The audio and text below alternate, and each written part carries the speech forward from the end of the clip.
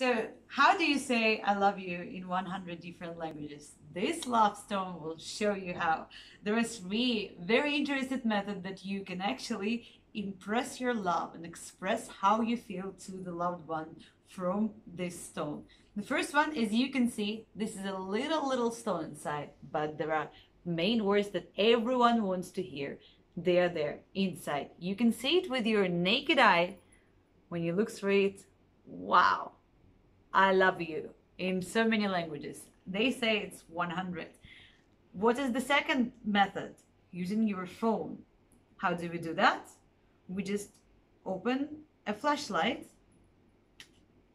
put this, and you can see it's I love you in 100 different languages with these beautiful hearts in here.